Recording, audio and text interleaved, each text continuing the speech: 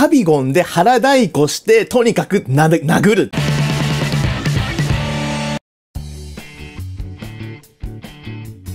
もう一つ話したいのが、僕が人生で初めてオフ会に参加した時の思い出をちょっとだけ話そうと思うんですけど、皆さんにとっての初めてのオフ会っていつでしたか？もちろん、インターネット上の知り合いとオフで会うなんてっていう考え方の人もまあいるだろうなとは思うんですが、僕が初めてオフ会に参加したのはいつかっていうとですね、ポケモンスタジアム金銀の頃に初めてオフ会に参加しました。何年に発売だったかな？ポケモンスタジアム金銀ってって感じですけど、もう今やインターネットがない生活なんて考えられないですけど、僕はまだ小さい頃ってね、インターネットなかったんだよね。そんなコバブルさんのうちにも、まあインターネットができる環境ができるわけなんですが、その最初の頃僕はもうポケモン関係の個人サイトに入り浸ってたわけ。そういうポケモン関係の個人サイトには掲示板が置いてあったり、BBS ね、BBS が置いてあったり、チャットがあったりとかして、そういうところで僕もね、夜な夜な、あのー、何？いろいろ遊んでたわけですよ。ちなみに言うと、僕もサイト作ってましたよ。う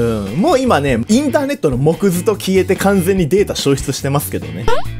オフ会っていうタイトルだったかどうかは忘れちゃったんですけど、まあなんかこう、あの、集まってみんなでポケモンのゲームしましょうみたいなのがあったわけです。オフ会の会場はなんか貸し会議室みたいなところで、でちゃんと受付でこうなんか確か名前を書いて、たり、あ、名前ってハンドルネームだよ。本名じゃなくて、その、その当時使っていたハンドルネーム。もう恥ずかしくて言えないけど、ハンドルネームとか、参加費とかを払ったりとかして、で、そのオフ会にね、入ってですね、多分僕そのオフ会の中で最年少ぐらいだったんですよね。多分僕以外の人は全員お兄さんお姉さん、まあ、ほとんど男性だった気がしますけど、お兄さんお姉さんが集まってました。そのオフ会すごく楽しくて、だからこう、ポケモン好きな人たちばっかりが集まってるわけですよ。それまでにも友達とポケモンの対戦とかしたことありましたよ。ありましたけど、でもまあ、せいぜい、友達2、3人とか、僕合わせてね、4人とか5人とかの間の中での対戦なんで、まあ、いつも同じメンバーなわけじゃないですか。でも、そのオフ会は全然見ず知らずの人たちと、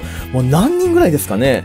20人ぐらい多分いたと思うんですよ。で、みんなで総当たりで対戦とかするのがすっごい楽しかったですね。金銀の頃ですよ。だからポケモンのね。当時オンラインで対戦するとかなかったですからね。ちなみにですね、僕その時どういうポケモンのパーティーで挑んでたかっていうと、今でも覚えてるんですけど、とにかく相手を麻痺や混乱にさせて、その隙にカビゴンで腹太鼓して、とにかく殴るっていう、そういうね、パーティーで遊んでました。対戦相手のお兄さんのポケモンですごく印象的だったのが、ネムネゴロケット頭突きのハピナスを使ってらっしゃる方がいて、あともう一個の技、レードビームだったと思うんですけど、そのハピナスがね、面白かったなって印象があります。そんなこんなで若かりし頃のね、コバブルくんもオフ会はすごく楽しかったので、別に僕オフ会に対する、こうなんか、オフ会なんかやらない方がいいとか、そんなことは僕全然思ってないんですよ。うん、参加したい。むしろ参加したいです、今でも。